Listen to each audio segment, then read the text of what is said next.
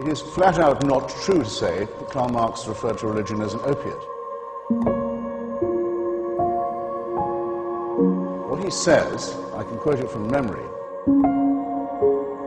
from his uh, uh, contribution to the critique of Hegel's philosophy of right, is this.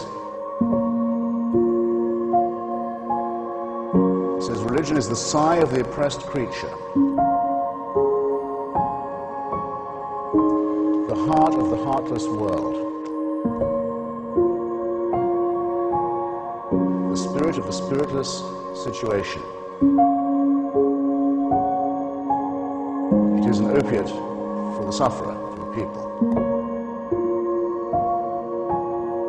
So he goes on to say,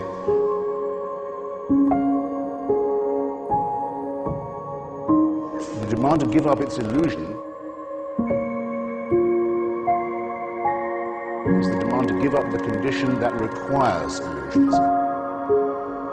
He closes by saying that criticism has plucked the flowers from the chain.